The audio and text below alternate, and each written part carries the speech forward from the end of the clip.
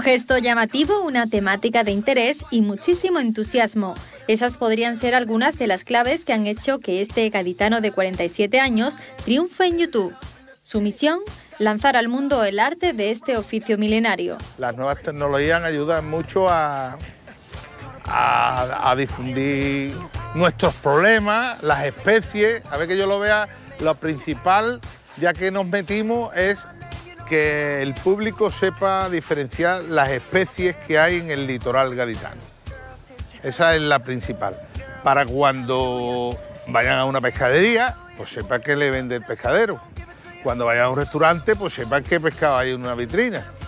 Y también pues le damos un toque gastronómico, le damos unas pinceladitas, en fin, de una forma simpática y, y natural.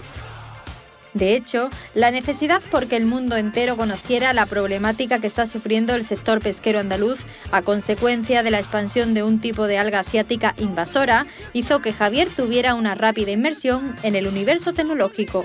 Yo hasta hace un año no tenía otro medio tecnológico que un móvil de tecla. Entonces paso de un móvil de tecla a WhatsApp. Entonces aprovecho Digo, pues puedo, gracias a los WhatsApp, puedo difundir el trabajo mío, porque es una pasión tan grande. Yo vengo de estudios universitarios que los cambio por esto y, puede, a consecuencia de un alga, puede que todo esto se pierda. Pero, ¿cómo comenzó todo? Esta, esta pesca, ¿lo ves? Quitándolo con suavidad a la hurta. Esta pesca es es una pesca artesanal, todo es con las manos y, con mucho cuidado y demás, mucho mimo. Pues esto es lo que le da el valor a, los pescados de aquí. Así, con este vídeo, comenzó la andadura de Javier en YouTube.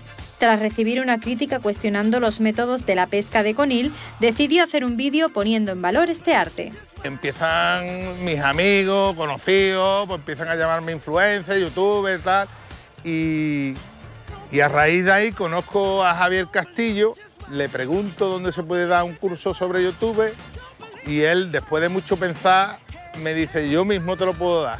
Pásate por el colegio Tarteso en el centro Guadalinfo y esto de que yo lo vea va de la mano de los dos. Yo en el barco y él enseñándome cómo se editan, cómo lo subimos a YouTube, si lo ponemos un día, vemos la audiencia que tiene un día, otro. Además, Francisco Javier Castillo, agente de innovación local en el Centro Guadalinfo Capi La Paz, le da las claves para que sus vídeos cumplan las expectativas de todos sus seguidores.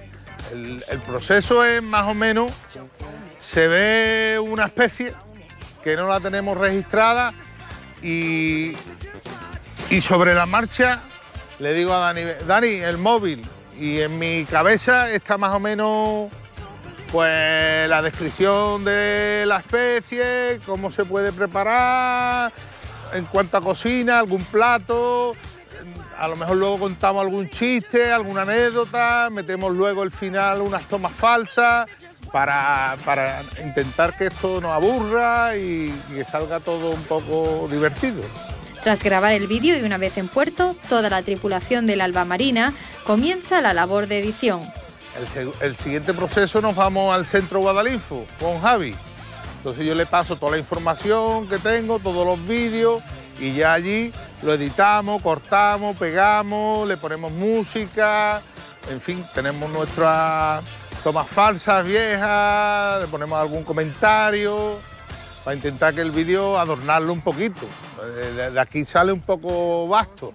Obteniendo como resultado piezas audiovisuales que ya son seguidas a nivel internacional. Lo que se siente es que esto de las tecnologías llega a todos los lados.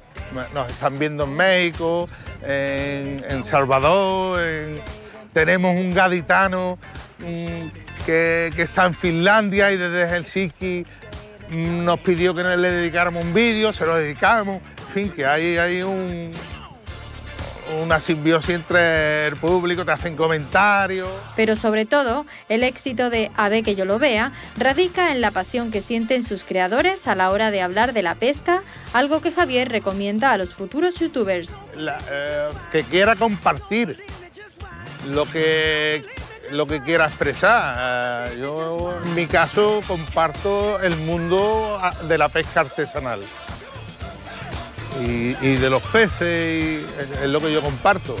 Si a una persona quiere hacer un canal sobre bricolaje, pues le tendrá que gustar el bricolaje, las herramientas, los trucos y, y querer compartirlo. Creo yo que esa sería la esencia principal. Una labor comunicativa que dejará para la posteridad la riqueza de estas técnicas de pesca de incalculable importancia histórica para Andalucía.